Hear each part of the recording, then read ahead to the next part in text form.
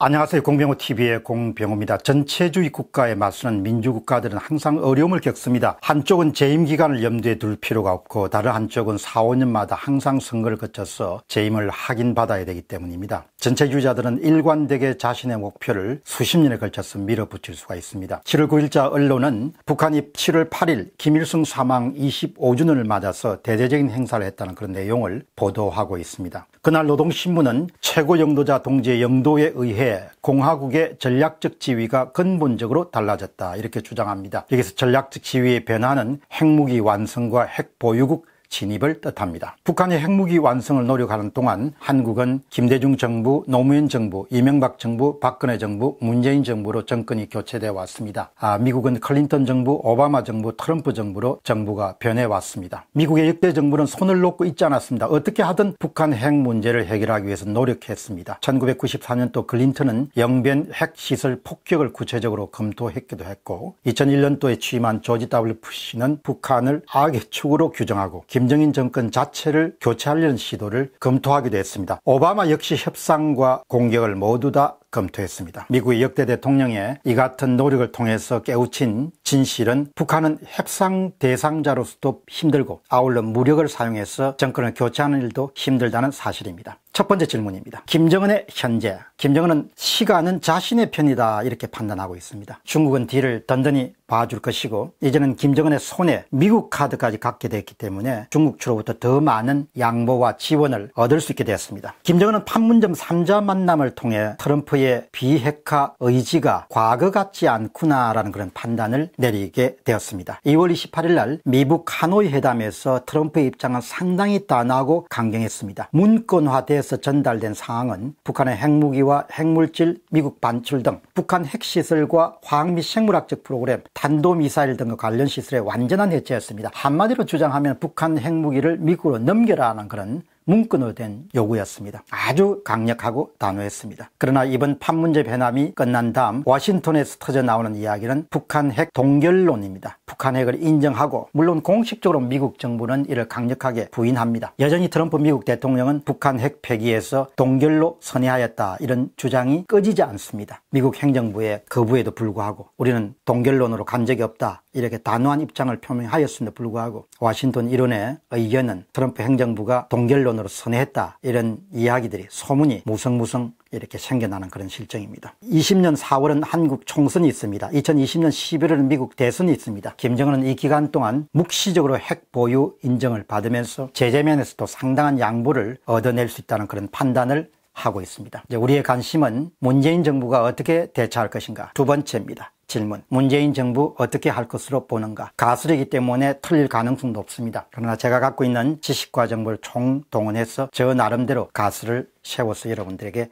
제시하고 있습니다. 문재인 대통령에게 총선 패배는 레임덕을 뜻합니다. 따라서 필사적으로 승리할 수 있는 탈출구를 찾아 나선 상태입니다. 무엇이 우리에게 총선 승리를 가져다 줄 것인가? 나아가서 대선까지 승리를 보장해 줄 수 있는 그 무엇이 어디에 있는가? 어떻게 선거를 이길 것인가? 문재인 대통령이 갖고 있는 회심의 카드는 두 장의 카드입니다. 한 장은 김정은 위원장의 서울 방문을 성사시키는 것이고 다른 한 장의 카드는 박근혜 전 대통령을 사면시키는 겁니다. 파급 효과 효과는 두 번째가 첫 번째에 비해서 작습니다. 그러나 두 번째 카드도 대단히 위력적입니다. 철저하게 야권을 분열시킬 수 있는데 이바지할 수 있는 카드가 바로 박근혜 석방과 더불어 사면입니다. 자, 판문점 3자 회동을 통해서 문 대통령은 첫 번째 카드의 성사 가능성을 굉장히 높게 보기 시작했습니다. 다시 이야기하면 김정은 국방위원장을 서울로 초청하는 겁니다. 이를 엿볼 수 있는 대목은 판문점 회동이 끝나고 나서 가졌던 7월 2일 날 국무회의 발언입니다. 문 대통령의 발언에는 어디에도 핵은 없습니다. 오로지 평화만이 있습니다. 북한과 미국 정상이 군사 분과천에서 손을 마주 잡았고 미국 정상이 특별한 경호 조치 없이 북한 땅을 밟았다. 문서상의 서명은 아니지만 행동으로 적대관계 종식과 평화시대 시작을 선언했다고 말할 수 있다. 이런 자신감이 묻어난 표현입니다. 이제 내가 그토록 기다리던 김정은 위원장의 서울 답방을 추진할 때가 됐고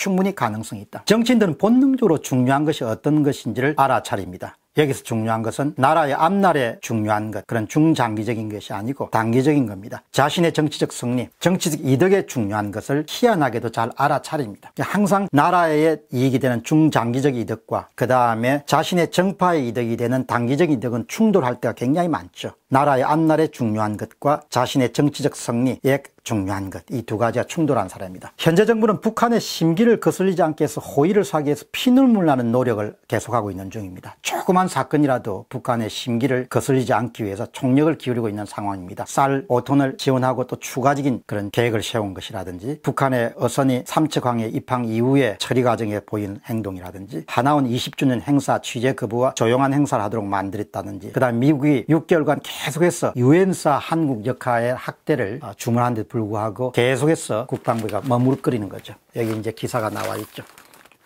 미국이 계속해서 유엔사 역할에서 한국이 차지하는 비중을 늘려달라 이런 요구를 계속함에도 불구하고 계속 거절하는 겁니다. 눈치를 보는 거죠. 국방부조차도. 아마도 지금 전 부처의 엄명이 내려서질 것입니다. 일체 북한의 심기를 거스릴 수 있는 일은 하지 말아라. 이 정도에서 그치면 좋은데 문재인 정부는 여기서 그치지 않을 것으로 봅니다. 이미 문재인 정부는 북핵 전면 폐기에 동의하지 않음을 여러 차례 밝혔습니다. 그리고 그렇게 오해를 살 수 있는 그런 발언으로 무리를 빚기도 했습니다. 과거에 우리나라하고 세계 통신 신사들하고 가졌던 인터뷰에서 그런 거겠죠. 단계 접근은 북한 핵 해법. 북한 핵 위기 해법은 일관되게 한국 정부 는 단계적 접근과 병행적 접근을 선호합니다. 공식적인 미국 방침하고 다릅니다. 바로 그 방법만이 자신들을 정치적 승리로 이끌 것이고 선거에서 이기도록 만들 수 있다고 판단하기 때문입니다. 북한의 핵 문제 해법은 대한민국 정부의 해법과 아주 유사합니다. 단계적이고 점진적인 해법이. 심지어 좌파 진영의 인사들 가운데는 민족의 핵이라는 그런 용어를 사용하는 사람들도 드물지 않습니다. 그들은 북한이 전쟁 지속 능력이 없기 때문에 실제로 북한의 핵무기를 실제 사용하지 않는 상태이기 때문에 통일 이후에는 그것이 한국의 것이 될 수 있다. 이렇게 주장하는 사람들도 많습니다. 문재인 정부는 내놓고 자신의 입장을 드러내지 않지만 핵이 있으면 어떤가 이런 입장을 갖고 있을 것으로 생각합니다. 핵 있는 평화 내놓고 이야기를 하지 않죠. 그러나 핵 있는 평화가 가능하다고 믿습니다. 핵 볼모 하에서도 대한민국의 안위는 문제가 없다 이렇게 생각하는 겁니다. 그런데 그 김정은 서울 닭반이 성사될 수 있으면 서울 방문이 성사될 수 있으면 문재인 정부가 일관되게 추진하고 있는 평화의 시대는 성큼 다가온 것 같은 인상을 보통 국민들에게 심어줄 수가 있죠. 지난해에 4월 달에 있었던 판문점 정상회의와 마찬가지로 만일에 아주 절묘한 타이밍을 선정할 수 있다면 총선의 임박한 시점에 김정은의 서울 답방이 성사될 수 있다면 선거판을 일거에 뒤집을 수가 있는 초대형 호재에 해당합니다. 엄청 나게 많은 이점을 이익을 여권에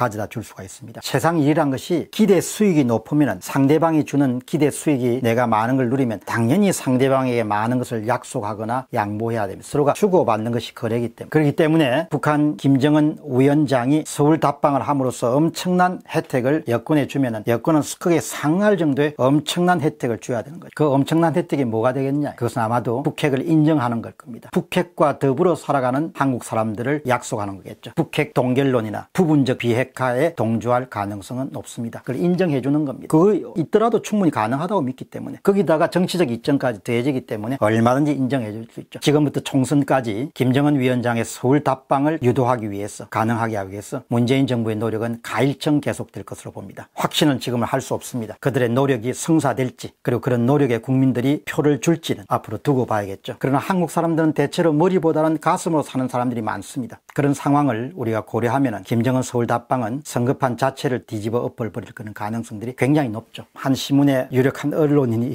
이렇게 주장을 합니다. 총선 전 김정은 답방 성사를 위해 북핵의 동결이나 부분적 비핵화, 즉핵 있는 평화를 추구한다면 그것은 국민을 핵 인질로 만드는 반역과 다름없다. 그러나 어떻게 하겠습니까? 정신에 따라서는 반역보다도 선거의 승리가 더 중요하다고 여기는 사람들이 꽤 많습니다. 반역보다도 선거의 승리가 항상 승리의 모든 화력이 집중된다고 보시면 되겠죠. 앞으로 크게 상황이 반전 되 되지 않으면 한국인들은 핵과 함께 살아갈 수 있는 그런 가능성이 매우 높아지는 그런 상황으로 점점 우리가 다가서고 있지 않느냐 그런 생각을 하게 됩니다.